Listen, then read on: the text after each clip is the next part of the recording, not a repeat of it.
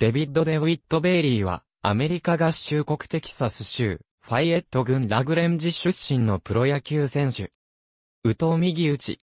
現在は、フリーエージェント。登録名のホーマーは愛称である。ラグレンジ高等学校時代の通算成績は41勝4敗、防御率0.98、298イニングを投げ536奪三振を記録している。2004年の MLB ドラフト1巡目で、シンシナティレッズから指名され、プロ入り。球団は、故障を防ぐため2005年まで1試合75球の投球制限を課した。この投球制限がなくなった2006年は、シーズン途中に AA 級チャタヌーガルックアウツへ昇格を果たし、ピッツバーグで行われたオールスターフューチャーズゲームに選出され、勝利投手となった。2007年6月8日に、ジャスティン・アップトンに次ぐ、この年のリーグ2番目の若さで、メジャーデビューを果たした。しかし、スタミナに問題があり、9回の先発登板で、クオリティスタートは1回しかなかった。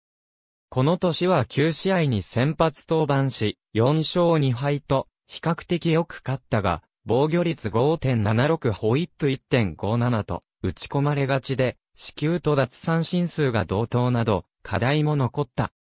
2008年、8試合に先発登板したが、防御率7.93ホイップ2.0936.1イニングで、8被本塁打と大炎上。0勝6敗に終わり、引き続き結果を残せなかった。2009年は、6月下旬にメジャー昇格し、そのまま先発ローテーションに入って20試合に登板。最後の9登板では、防御率1.706勝1敗と、エンジン全開になり、トータルでは、防御率4.538勝5敗113.1イニングという成績を残した。また、この年はマイナーで89.2イニングに投げており、メジャーとの通算では203.0イニング投げたことになり、スタミナ不足も克服した。2010年は5月12日のピッツバーグパイレーツ戦で、初関東、初完封を記録。しかし、その後に肩を故障して故障者リスト入りする羽目になり、約3ヶ月間、戦線離脱した。この離脱もあって19試合の先発登板に止まったが、防御率4.46やホイップ1.37は、前年よりも改善され、成長の後は示した。2011年は、スプリングトレーニング中に肩を痛めて、開幕を故障者リスト入りで迎えると、5月に復帰した。直後に肩痛を再発させ、そこでも故障者リスト入りした。この年は、過去にシーズンとほぼ同等の22試合に、先発登板し、防御率4.43チームに遺体の9勝7敗という成績を記録。しかし、防御率にあまり改善が見られず、故障も頻発するため、期待度は下がりつつあった。2012年9月28日、PNC パークで行われたパイレーツ戦で、球団史上15人目のノーヒットノーランを達成した。また、このノーヒットノーラン達成が2012年度、ノーヒッター7回目の達成となり、近代野球以降でのメジャーリーグ最多タイ記録となっている。この年は故障離脱することなく、リーグトップタイの33試合に先発登板。2関東 QS21 も含まれており、防御率3.6813勝10敗168、奪三振、ホイップ1.24と活躍した。ポストシーズンでも、サンフランシスコジャイアンツとのディビジョンシリーズで7.0イニングを、1安打1四球1失点10奪三振と力投。ようやく、先発の軸として、才能を開花させた。2013年7月2日、グレートアメリカンボールパークでのジャイアンツ戦で、自身2度目のノーヒットノーランを達成した。同年は、さらなる飛躍を遂げ、11勝12敗と負け越したものの、防御率3.49、199奪三振、ホイップ1.12と、他の主要スタッツは軒並み向上した。2014年2月20日に、レッズと、総額1億500万ドルの6年契約に合意した。この年は8月7日のクリーブランドインディアンス戦を最後に外れ、9月初旬に腕の手術を受けた。この年は23試合の先発登板に止まり、規定投球回にも届かなかった。しかし、投げた試合では、ハイレベルなピッチングを展開し、防御率3.71、1完封含む9勝5敗、ホイップ1.23という好成績を残した。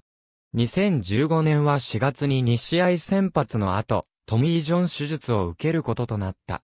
2016年4月21日にマイナーリーグで実戦復帰し、7月31日のサンディエゴパドレス戦でメジャーに1年3ヶ月ぶりの復帰登板を果たした。この試合では、結果的に勝利投手になったものの、マウンド上での不注意で、ホームに背を向けた隙に、ウィル・マイヤーズにホームスチールを許し、直後に降板を命じられた。全体では閉幕までに6試合に先発登板したが、2勝3敗、防御率6.65、ホイップ1.83と打ち込まれ、本来のピッチングとはならなかった。ただ、23回で27奪三振を記録、キャリア初の10.0超となる奪三振率をマークし、復活への足がかりを伺わせる面もあった。ちなみに、マイナーでは、AA 級ペンサコーラブルーワフーズとトリプル A 級、ルイビルバッツの計2ランクで8試合に先発登板し、1勝3敗、防御率5.14、ホイップ1.71という成績だった。2017年2月8日に、右肘の関節強視化手術を受け、13日に60日間の故障者リストに登録された。6月24日に復帰登板では1.3回を8失点で敗戦投手になった。その後も高騰することもあったが炎上することの方が多く、18試合に先発し91回、6勝9敗、防御率6.43でシーズンを終えた。2018年、開幕直後は復調の兆しを見せたが徐々に防御率が悪化し、6月2日には、右膝の炎症で故障者リスト入りした。7月24日のセントルイスカージナルス戦で、復帰するも調子は上がらず、9月5日のパイレーツ戦で、9連敗を喫すると先発ローテーションから外され、以後登板はなかった。最終成績は20試合に先発登板して1勝14敗、防御率6.09だった。2018年12月21日に、ヤシエル・プイグ、アレックス・ウッド、カイル・ファーマー及びキンセントのトレードで、ジーター・ダウンズ、ジョサイア・グレーと共にロサンゼルス・ドジャースへ移籍したが、同日中に自由契約となった。